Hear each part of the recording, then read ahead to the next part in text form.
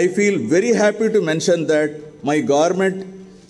during the past 45 months has implemented several schemes in a transparent manner by transferring an amount of rupees 1.97 lakh crores through DBT mode directly